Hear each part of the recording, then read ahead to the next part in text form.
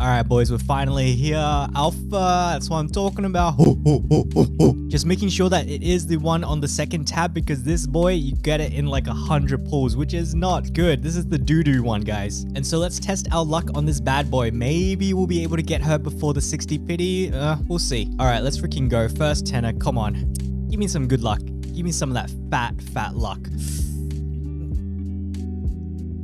I think that's trash. I think that's just I think that's just uh, an A rank. All right, let's do the fat skip. What do we got? That's okay. That's okay. Convert time, confirm, and then let's go. 20. 20. Come on, let's get lucky. Let's get a little bit lucky, boys. Ah? Ah, no good. All right, Skipperino. Come on, Karenina, where are you? Okay. Okay, Lee. A Lee. Next, 30. Come on, 30. Let's get a little bit lucky. Come on. Please? Please be lucky? Eh? Eh? Eh? Nah, no good. All right, Skipperino. And uh, that is an A Lucia. 40, 40 pulls. Let's go. Confirm. Bada bing, bada boom. Come on. Come on, just give it to me. Give it to me. Come on. Nah, no good. All right. It is a 0.5% chance. You know, it is what it is. Watanabe, and this is the A Kamui, the new A Kamui, so that's actually really nice. And so I think this is 50, I believe. So let's go 50. Bada bing, bada boom. Research. Come on. Come on. Please be lucky. No good. That's all right. It's 0.5 chance. I mean, like, who do I think I am? Right? Who do I think I am? I just, I'm just really looking for that A Karenina, which I'm still not getting. And hopefully we'll get Alpha here. Well, I mean, of course we're gonna get Alpha here. If I don't get Alpha here, it means I've picked the wrong one. That would be really, really bad. So Bam. All right, let's have a look. Let's have a look at what we get. Uh, did we get an A? Yeah, we did get an A, and we got Alpha. All right. It is what it is, guys. It is what it is. All right, you know what? I feel like I want Sakura. I want her weapon, so let's actually give it a shot. Gotta remember to change the set or else it's gonna be looking pretty bad for me. So this boy down here, hit that X, make sure that it is up over here. Okay, let's do a tenor. Come on. Please be good. Please be good. Da-da-ding. Bada-bing. Oh, oh, oh, we hit, we hit an S. I mean, we hit a six star? Okay, let's see. Skip. Please be it. Yes!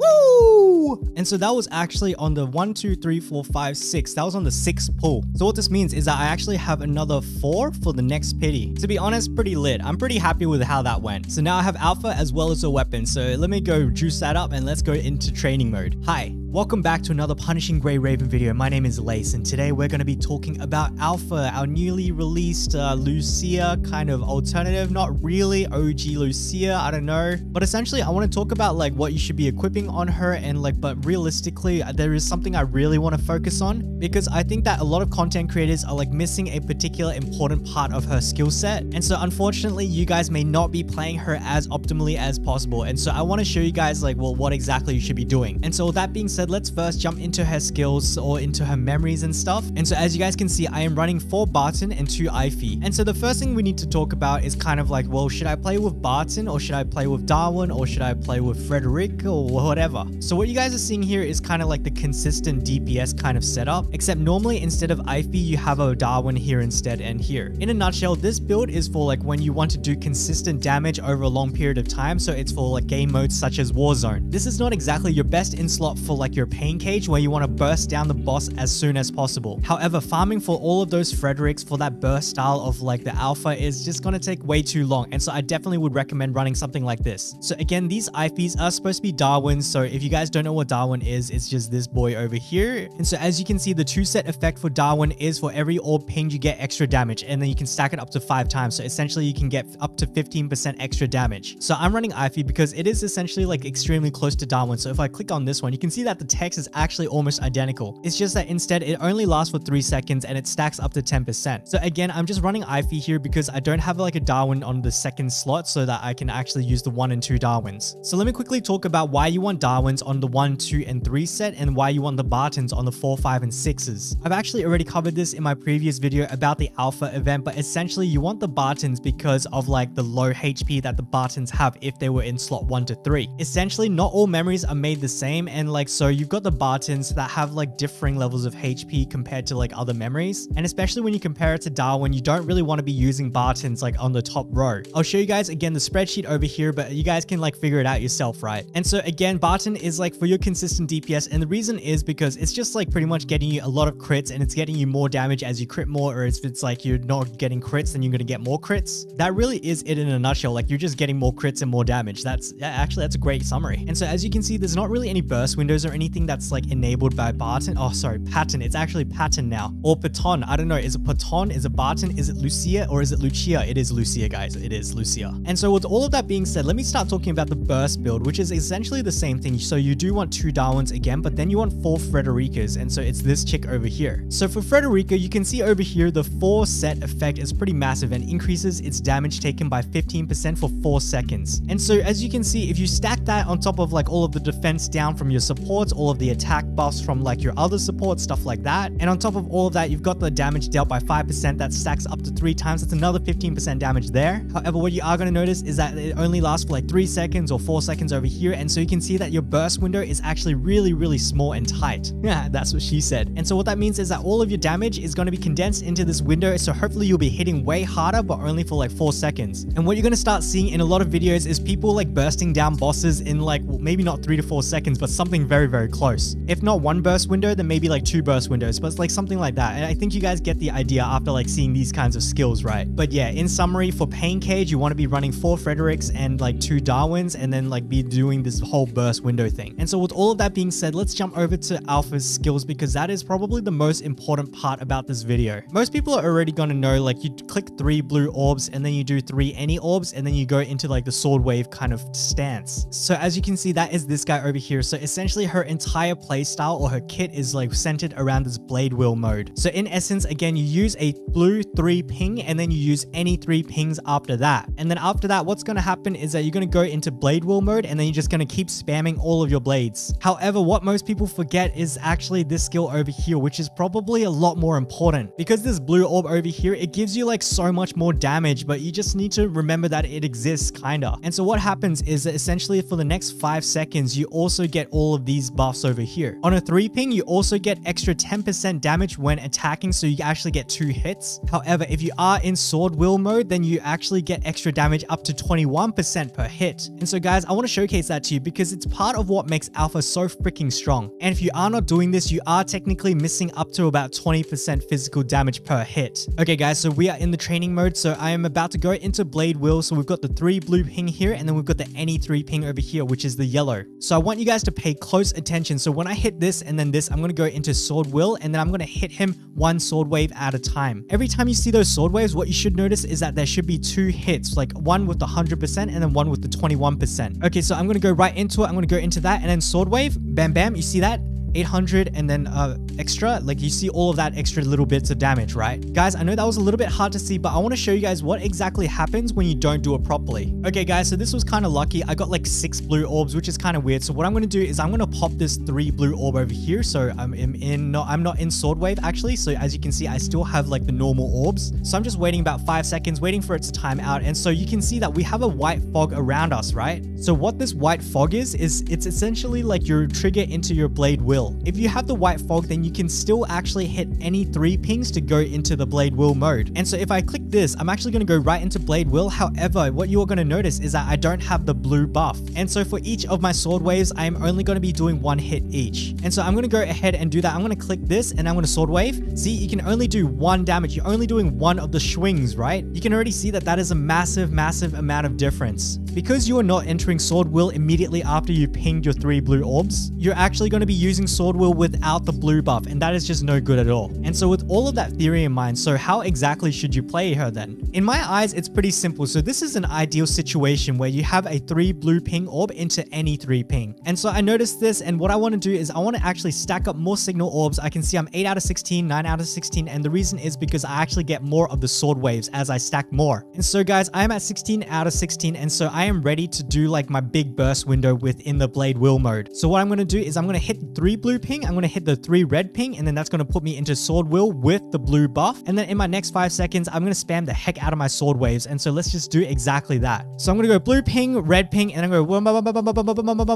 so you can see all of those like little as numbers, right? The 308, the 690, the 32s. And so that is how you really should be using your blade wheel form. And so guys, as you can see, I don't have that white fog around me because I am not prepared to use blade wheel. So just to reiterate, only after I ping my three blue orbs do I go into the white fog. And then that white fog is going to stay with me until I do any three ping. Okay guys, so I want to run through the more common scenarios, like the less ideal scenarios. So something like this, right? Realistically speaking, I think like as long as you have at least one blue orb and you have any three orb, then you're good to go. Because realistically speaking, and without Frederick, you want to dodge first and then use your blue orb so you get the triple ping bonus for entering Matrix. What that's going to do is that's actually going to trigger this guy over here and then you're going to use your any three ping and then away you go spam, spam, spam. So guys, we are in a great position. We have one blue orb and then after we use this blue orb, we're actually going to go into an any three ping. And so what I'm going to do is I'm going to actually dodge. I'm going to use this guy over here, which is going to trigger my white fog. And then I'm going to use the yellow three ping right after that. And so hopefully that's going to work. It's going to give me the blue buff. It's going to get me into blade wheel and I'm going to be doing the extra bonus damage as well. And so let's just do exactly that. All right, let me walk up to the boy and then let me dodge and then I'm going to hit that and then I'm going to hit that and I'm going to go ding, ding, ding, ding, ding, ding, ding, ding. Oh, wait, he died too fast. But guys, like, trust me, that was actually it. I know it was like a little bit lackluster because he died so fast, but like that was, that was it. That was the way that you should have been doing it, okay? All right, I've got it up again. Let me try one more time to see if he's going to hold up. So hopefully maybe like, okay, dodge and then go and then that and then ding, ding, ding, ding, ding, ding, ding.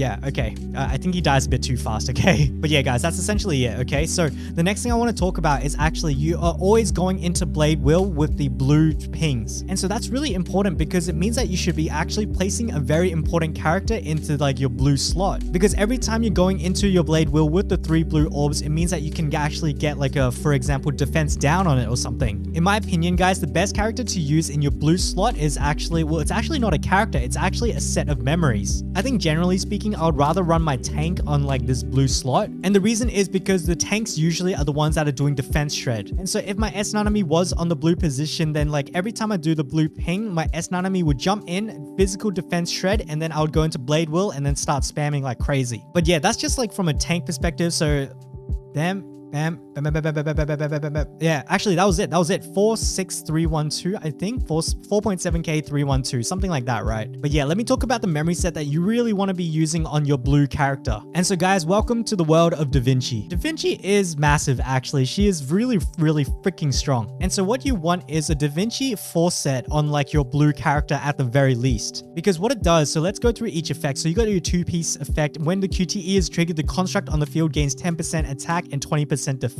However, the real fat juicer is in the 4-piece set, so when the QTE is triggered, then triggers another construct's QTE. So what this is telling me is that every time you're going to be pinging those three blue orbs, you're going to be getting the QTE on your blue character. Because you're getting the QTE on the blue character, and that blue character is going to be equipped with Da Vinci, you're going to be triggering this effect. And so therefore, it's actually going to get your other character onto the field as well, and so you're going to be getting the buffs from both of the characters. And then on top of that, what you've got is this bad boy over here. If there are three constructs on the field, attack is increased by 20%. And so what that means is that your burst windows are so, so incredibly narrow. So if I was to run through the entire process, it's actually like really, really freaking dank. So to start things off, you got like your three blue orbs or you've got like your dodge into the one blue orb, which turns into three on Matrix. When you do that, you're going to get your QTE onto your blue character. And so when you hit that character's QTE, what's going to happen is that that character is going to drop onto the field. And then not only that, the other character is actually going to drop onto the field as well because of this four piece set effect over here here. And then on top of that, because all three of your constructs are actually on the field, you're going to get an extra attack increase by 20%. However, this attack increase is only working if you have three constructs on the field. And you guys already know when constructs come onto the field, they leave very, very quickly after. And so what that means is that you've got to get all of your sword waves in before all of your characters leave the field. And on top of that, you've got to do it within the duration of the blue orbs. Well, like to be honest, the blue orb duration is probably the least of your worries. So guys, you can see like all of these buffs kind of like stacking up. It's going really freaking freaking crazy? But now you can understand why Alpha is able to burst down bosses like in the blink of an eye. Because if you don't do it that way, then you're actually missing a lot of opportunity. It's like stuff like this, right? And so the last thing I'd want to talk about is actually the Frederick set, because using the Frederick set actually changes a lot, especially compared to the Barton, which is a lot more, oh sorry,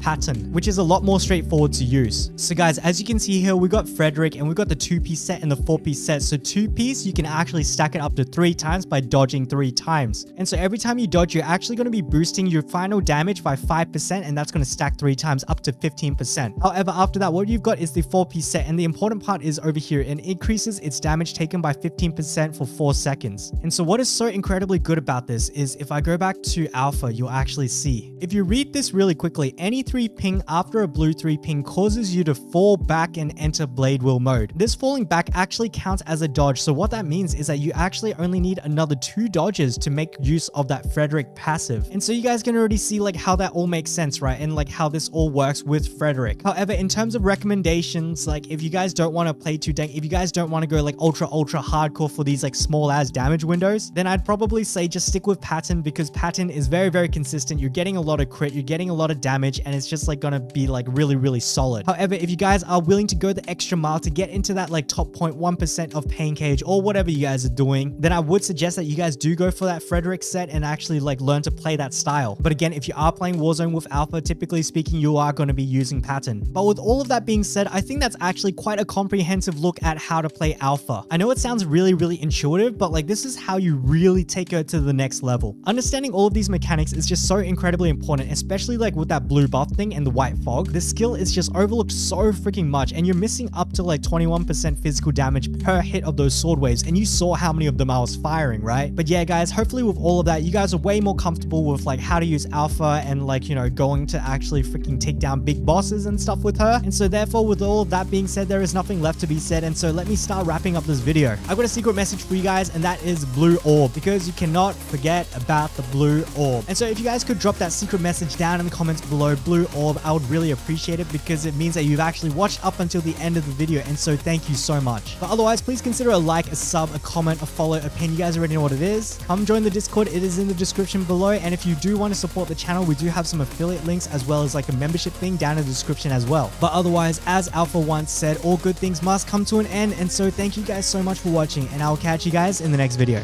Bye bye.